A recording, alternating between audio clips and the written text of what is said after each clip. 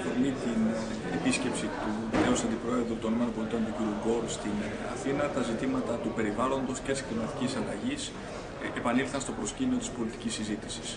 Θεωρώ αυτή την εξέλιξη εξαιρετικά χρήσιμη, καθώς είναι πια κοινή διαπίστωση σε όλη την επιστημονική κοινότητα ότι κάτι πολύ δραστικό συμβαίνει στο περιβάλλον ως αποτέλεσμα ανθρώπινης παρέμβασης.